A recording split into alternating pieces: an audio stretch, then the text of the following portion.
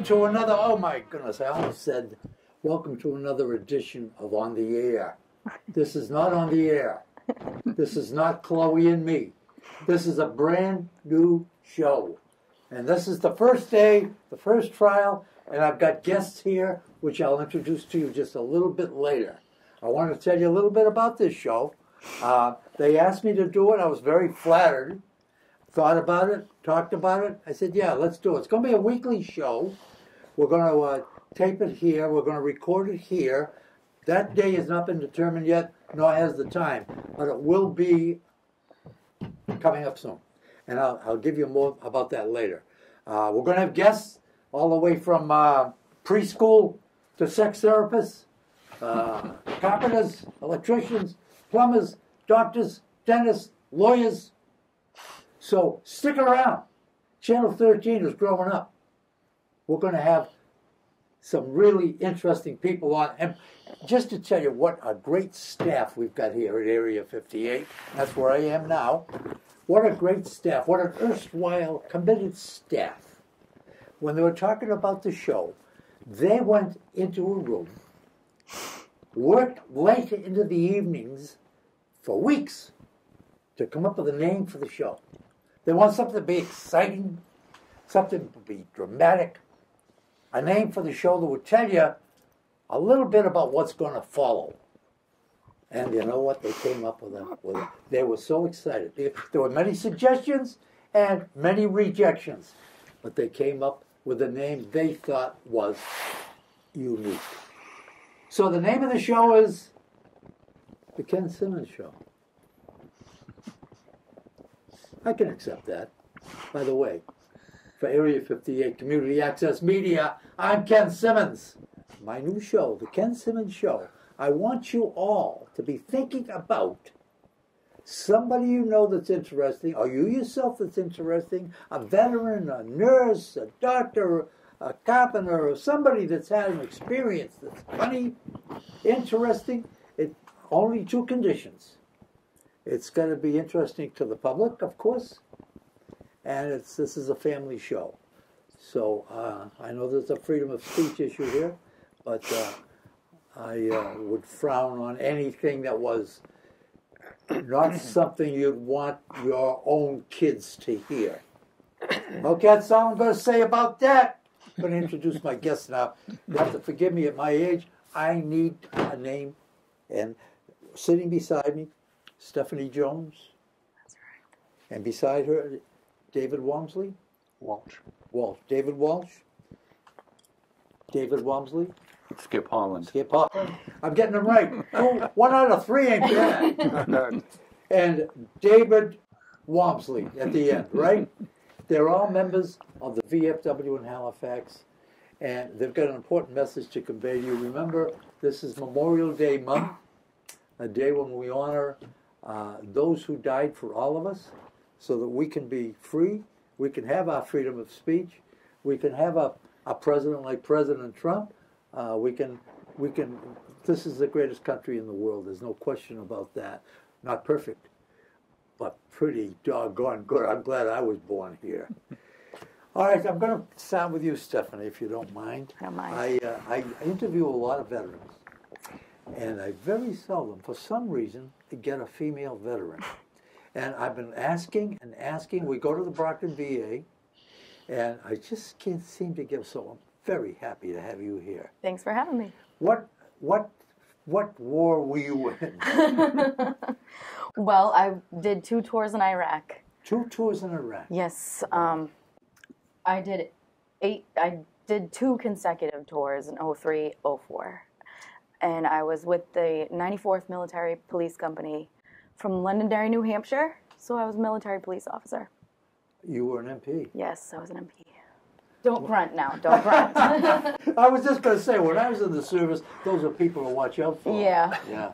And you did two tours. right. Yeah. Did you see a lot of action? Absolutely. Yeah. It was the very beginning. So we lived in a lot of not so comfortable places. I'm sure. I'm sure. As maybe I shouldn't ask this, but I'm going to anyway. Uh, as a female, is it? That must have been a very difficult thing because females how should I say this? I was going to say they're used to comfort. That's not true. Um, but did you get along good with the guys? Is there- yeah, there a you know, yes, we did get along. Good. It was like we joked, and and you just joke back with them. So you were buddy buddy. Yeah, Yeah, Mm-hmm. that's what it should be. did your job and acted like you're all the same. Because you're all facing that lousy, Yeah. lousy war. You all had to live Did- together Did you ever get to Baghdad all, all the time. all the time? Yep. Wow. I was, I did a lot of convoy security and a lot of route reconnaissance missions. So we were from Al Asad Air Base to Ramadi to Fallujah, Wow. Baghdad, up to Anaconda. We, we were all over the country. And you said this is back in 04. 03, 04, yes. You know something? I, I'm going to say something that's going to be sexist. I don't mean it to be, but you look. You don't look 20 years old now. I'm 36, Married? not married. Were you married when you were over there? No, that's a bad idea, folks. Yeah. Just warning you. yeah, I suppose it is. Um, well, we're awful glad you came back. Thank you. piece. Are Thank you, you. still in the service? No, I was, I got out in 2006. What happens when I get out of the service in, in the, after the Korean thing? They put us in the inactive reserve. Right. Do you go into that? I was in it while I was in Iraq. Oh, okay. All right. so I did my inactive reserve part. I was still deployed, so I didn't really get inactive. You were in. You live in Halifax now. I do. Always lived in Halifax. Pretty much always. Native Halifaxian. Yes, absolutely. Yep. Thank you. We'll get back to you a little bit later. Thank you. Sir, your name My name is Dave Walsh. and you are what? You have a title? Uh, yes, I'm presently the commander of the uh, for, uh, 62, uh, 6258 Veterans of Foreign Wars Halifax. Sixty-two fifty-eight in Halifax. Right. How long have you been commander? I've been commander now. This is probably going on uh, about the third year. Third year. Right. Enjoying it? Uh, at first, no, but now I'm starting to enjoy it a little more. I have a very good staff. We're a small post, but we have an excellent staff. And uh, you're only as good as the staff around you. The young lady you just talked to, talked to is the junior vice commander, and uh, in several years, maybe even sooner, she'll be she'll be the commander, and Oh. I'm sure she'll do a, a fine job. Has there ever been a female commander of the VFW? Not that I'm aware of. That's interesting. Not in our post. Oh, oh there have been uh, post commanders in various parts of the country, yes. But at our post, no. I think uh, I don't think we've had a female commander That's yet. pretty interesting. But uh, What were you in the army? I was Army. Army what war? I was Vietnam. Vietnam. I think we have more Vietnam folks uh, belonging to our post than probably any other Yeah. I'm sure of it. I'm We have it. quite a few. They're getting a little older now, also, which you can tell. right. Um, when you were in Vietnam, you said, were you in the army? I was in the army. I was uh, I was part of the 25th Infantry Division, and Okay. we were we had two brigades down at Cu Chi, where I was. That's in the Mekong Delta area. Oh, we yeah. had one up at the Central Highlands, which is the uh, Pleiku, and uh, our mission was to uh, try to just uh, hold everything at bay at that point because we were in there early in the war, 66, 67 and we were one part of the Iron Triangle. You might uh, uh, the Iron Triangle was a series of tunnels that went from Cu Chi to Saigon, and I forget the northernmost point, but it was about 50 kilometers uh, to Saigon, all tunneled.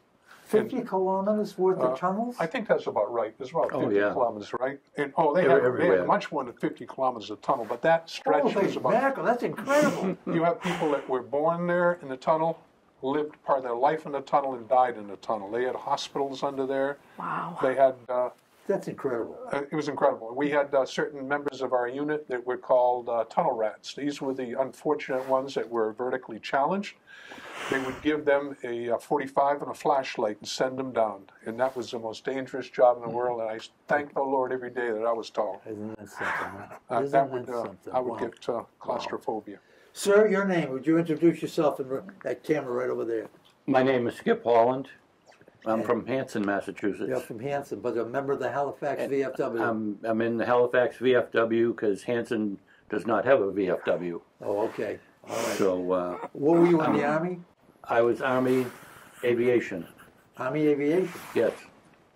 You'll have to explain that. I was in the Air Uh, Force. helicopters. Oh, okay. And, and Oh, to were you a explain it in pilot? one word, no, I was a crew chief. Crew chief. I, w- I started out as a UH-1 mechanic, and uh, once we got over, went to Vietnam, 68, 69, and once you're over there, they offer you the wonderful option of flying if you'd like to fly. And it's like, oh yeah, sure, I'd love to fly. So uh, a good probably three quarters of my tour I spent uh, flying on what we referred to as a slick helicopter, which was a troop carrier. Uh, we had two particular groups in the unit, the slicks and the gunships. And the slicks would go in, drop off a few troops while the gunships covered you while you were doing it. But uh, was this in Vietnam? yes, Yeah. yeah. What was your rank? Uh, I was E5. E5. Okay. It's, uh, it's good to have you back. It's good to have you home. Thank you. I, uh, I think I told you off camera, and I think that bears repeating, that I tried to join the VFW uh, when I got back from Korea, and uh, they told me, I don't know whether they're kidding or whether the guy had a bad day. He said there was not a war, so you were not a veteran of a foreign war. So, Right. and I took exception to that because I kind of thought I was. But uh, Certainly. anyway, that, Certainly that was a long time ago, and I don't even know why I'm bringing that up, just to fill time, I guess.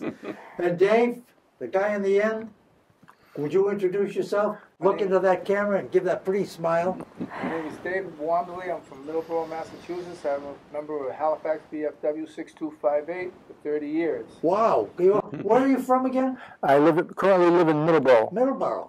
All right. and you go to the meetings in Halifax? Yes. Yes. Were you in Vietnam? No. No. Uh, I ended up in Korea during the Vietnam War. Oh, for heaven's sake. Uh, I gotta think. I gotta think about that for a minute. Now, the, the Vietnam, uh, the Korean War was over in '53. When, when, when, when were you there? Well, they still had troops there in 1968. Oh, okay. You went there then. Correct. Was it a punishment? I don't know. I, I did. Uh, way I figure it, that was about the time that the uh, North Koreans captured the Pueblo, uh, late January of '68, going into early Oh yeah. February. Oh yeah. and uh, I was dead. It set my mind that I was going to end up going to Vietnam, and I was accepting that and all this and that. So we're in the barracks one night, and uh, we had a radio on, and it came on the radio. Fla- uh, a flash. The North Koreans have just captured a U.S. naval ship, the, the Pueblo, I remember that. and uh, so everybody, oh wow, this and that, this and that, what's, what's going to happen? And the next thing I know, uh, way I heard it, they were diverting 50,000 troops from Vietnam to Korea, and I was in that that surge. Then I ended up in uh, Incheon in February of 1968 Wow. until uh, November 1968. As I, I mentioned uh, at the beginning, before you met these uh, erstwhile people, these wonderful people, uh, veterans that, uh, you know, you've heard it so many times, they put themselves in harm's way. It's just true. There's no other way you can say it. This is Memorial Day month, the end of the, the month, month, it's Memorial Day, and poppies. Uh, people are out there selling poppies. Now, when I was a kid, and I'm talking to you guys sitting here right now, when I was a kid, I lived in Randolph. I was born and brought up in Randolph. And we used to have uh, VFW auxiliary ladies dressed in the most beautiful uniforms, standing about every 50 feet, it seemed, selling poppies. And they did a great job. They did a bang up job. I feel, just by looking around, because that's part of my childhood, that poppies are not as popular as they used to be. Is that, am I right? You know what? I'd like to refer to David on that. He's our poppy coordinator. Okay. And yes, they are quite popular. The people I think they're have making a comeback. People have been really uh, good to the military. When we when we go out there and we, we display the poppies, they come over. They say, "My grandfather had these. My father had these. I've got to get one for my father. I put one on his grave. I wear them." And they prop the children up. And, and Skip here has made a couple. Uh, Skip is a master carpenter, which helps also. He's made some nice little uh, display uh, cases for us with small little openings down below for children.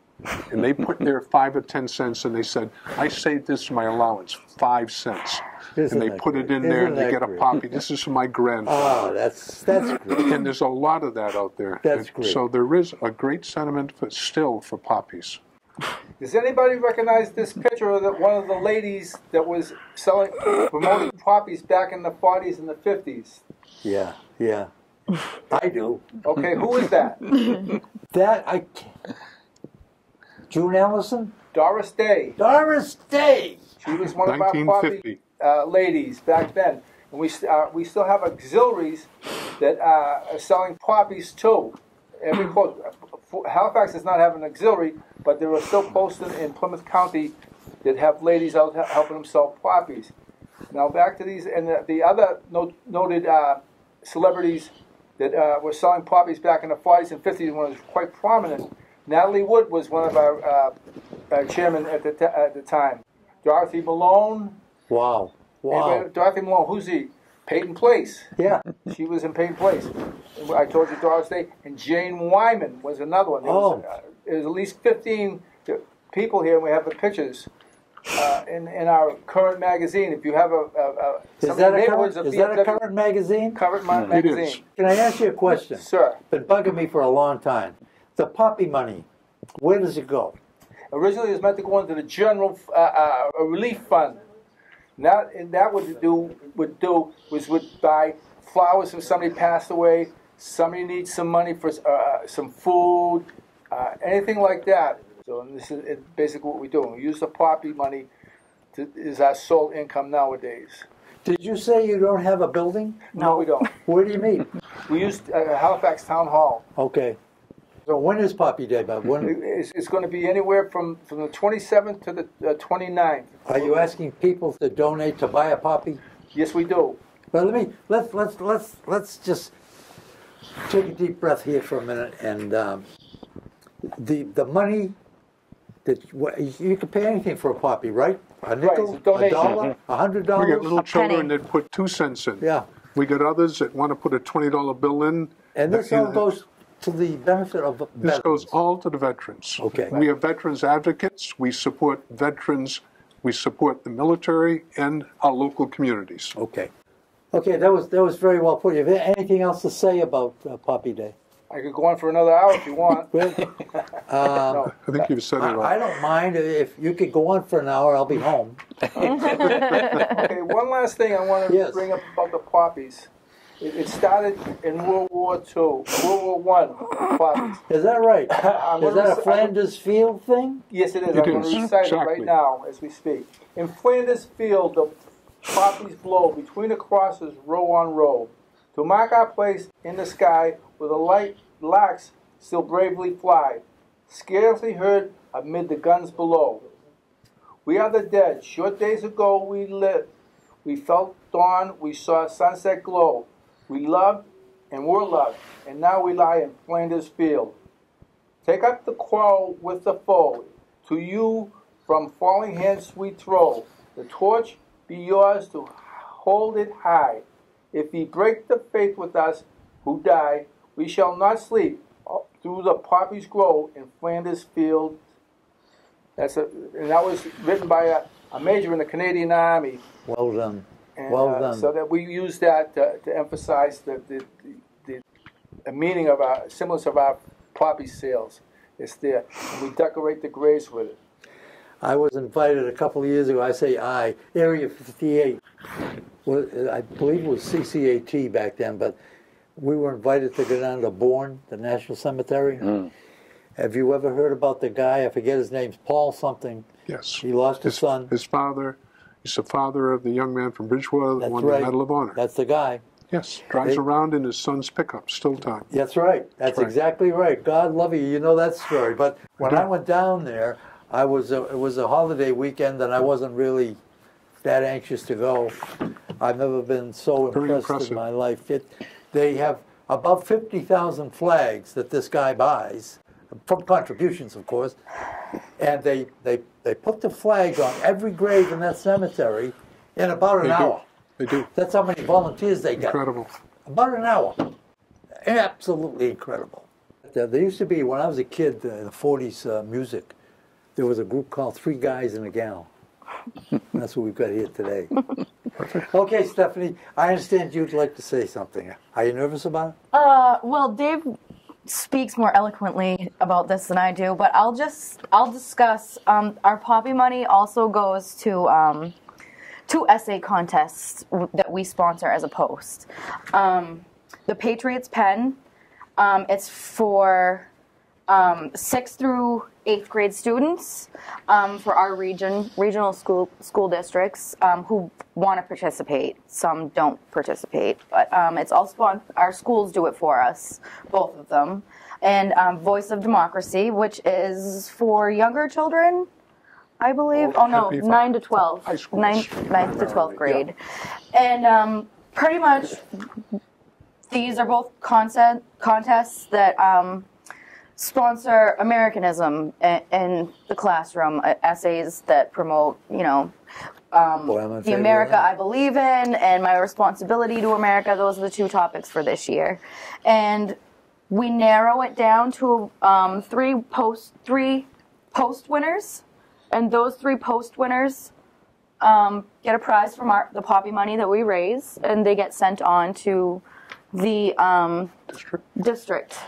So the district will judge the entire district. How many? How many We have posts are in the 17 district? posts in our Seven- district. okay, so it would be 17 other posts that they'd be competing in, but we've also had national winners. So it would There's be 17 posts in, in the, in this just state? our district. No, just our Just our district. district, okay. Yeah. So um, they'd be competing against post, and then and then district, and then state, and then national level. But we have ha- actually had a national level winner before. Oh, great. That's so great. That's, that's great. That's also where our poppy money goes. That's so, great. Yeah. Okay, are you getting this, everybody?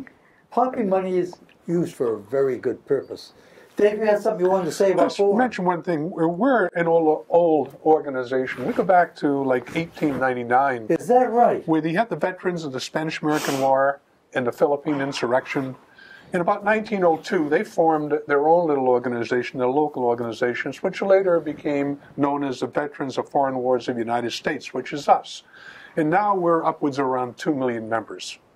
And having said that, I just want to say one thing. May is a very important, other than the lovely day of Mother's Day, which I hope everyone celebrates and gives proper credence to their moms. Uh, there's Armed Forces Day, the 20th of May. Every soldier, all five services, including the reserves and the National Guard, are recognized for their services on Armed Forces Day. They serve, they deserve recognition. Say hello and thank them, please. And then we have Memorial Day, this year, the 29th of May, the last Monday. And that is a real sacred day. Those are the people that died fighting for our country. And I hope all the children and adults appreciate just what these people gave to you to make you have the lifestyle you have now. You have freedom. You get up and you just assume it's there, but it doesn't come cheaply. It comes at a tremendous cost. And these are the real heroes. And the heroes, as Ronald Reagan once said, from the rolling hills of Arlington National Cemetery to the local cemeteries of Carver, Halifax, and Plympton, you can see these little markers, white crosses or maybe stars of David, but these are your true heroes. So maybe you can say a little thank you silently, thanking these, these heroes for what you have in your way of life. Now, most towns have a parade. We do in Halifax. I know on the 29th we meet at 9 o'clock at Country Club Way, which is the road leading into the country club, uh, Halifax Golf Course. We all assemble there. Veterans, you should be notified. I mean, you should be you should be recognized, looking for the right word, for your service. Please consider marching with us on Veterans Day. We meet there and at 9 o'clock. We march up to the town hall in Halifax, a short quarter mile, and we have a service there.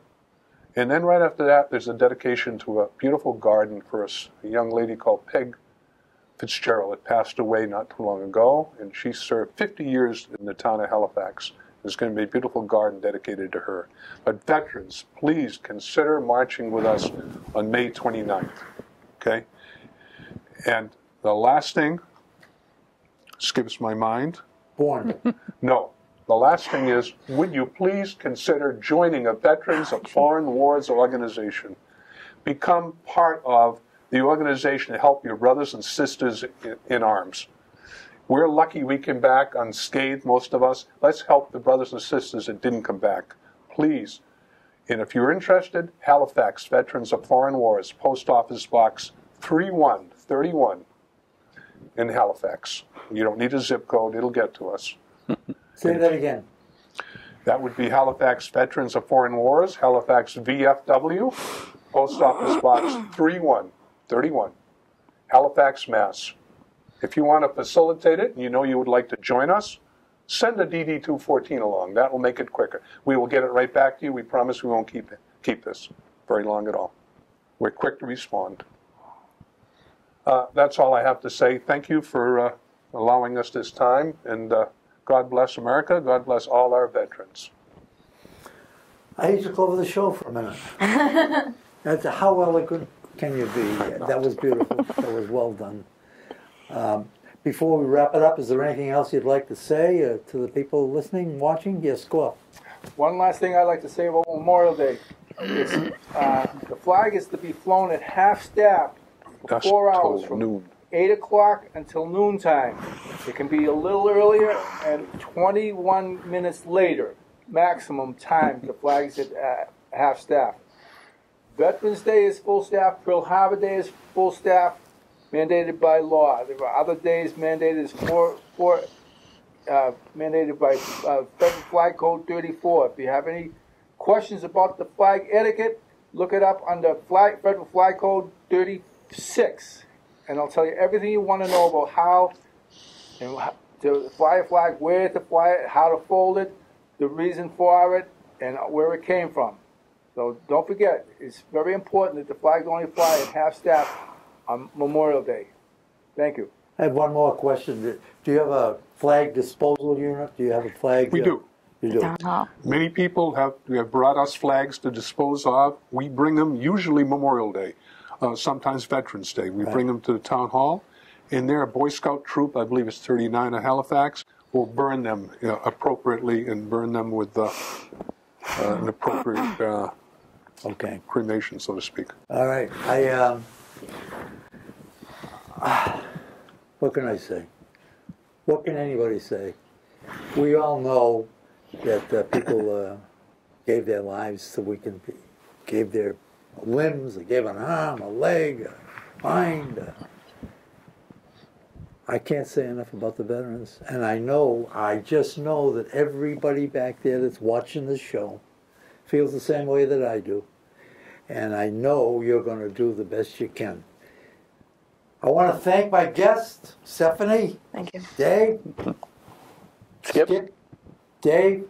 Thank you so much for being here. Thank you. You're certainly a credit to your community. You're certainly a credit to us veterans, and I love you for it.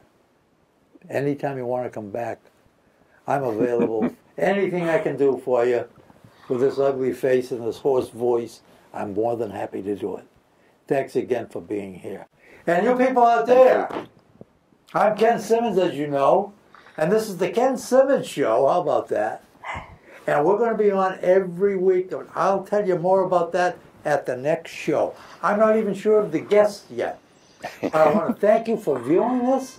I hope that you got something out of it. I'm sure you did. I know you did. I know I'm going to hear people wanting to force money on me at Shaw's when I'm there. Don't do that. Buy a poppy. Until next time, I'm Ken Simmons, and I'm going to say goodbye, just like Red Skelton did, one of my favorite people. Goodbye, and God bless.